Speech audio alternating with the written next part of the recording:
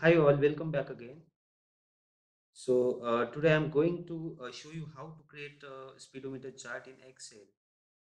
So uh, first of all, I will uh, open the Excel application.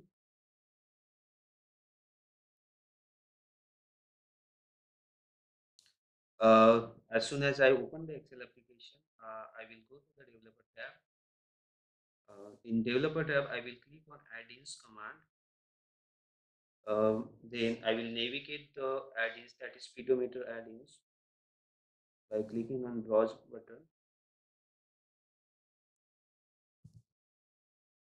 So uh, here I have the speedometer add-ins. So uh, by click, uh, I will click on OK. So as soon as I click on OK, it will uh, either uh, either the add-ins will uh, add in the add-ins list. Uh, so here uh, I have the speedometer add-ins added earlier. So I will replace that with the new one by clicking yes. And I'll just click on OK.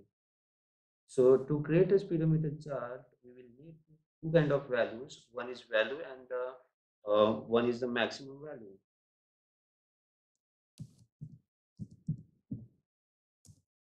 So my value is something uh, around 75, which I need to show on the speedometer chart. And the maximum value is something around 150.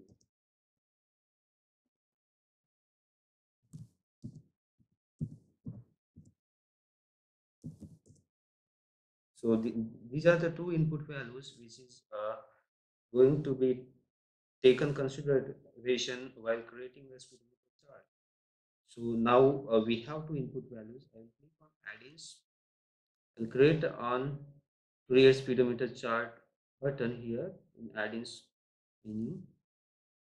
So this is the utility. So uh, here you you have one of the option called delete chart. By using this particular utility, you can de uh, delete your existing chart which you create earlier. By selecting that chart and click on delete, you can delete the chart as well.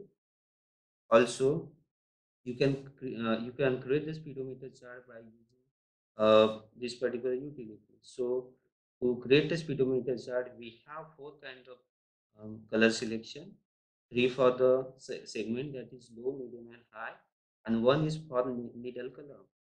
So I'll select the low segment as like red color, median is something amber, and high segment is, green color, and needle middle color is uh, let's say purple. Uh, I am entering my, my chart name that is my speedometer.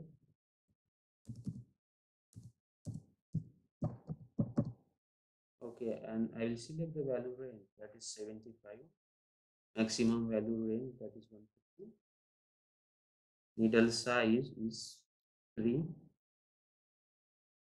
I'll create on I'll click on create chart as soon as you uh, create on create chart button you will get a message box like this chart has been created successfully I'll click on OK and exit so friends uh, you can see here the speedometer chart has been created by, by the name of my speedometer. You can uh, give uh, the name as per your wish or as per your requirement.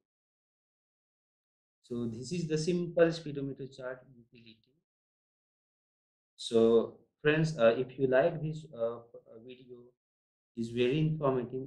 Informative. You can click on uh, like option as well as you can subscribe my channel to get uh, such such kind of informative video in future so stay stay stay in touch with me thank you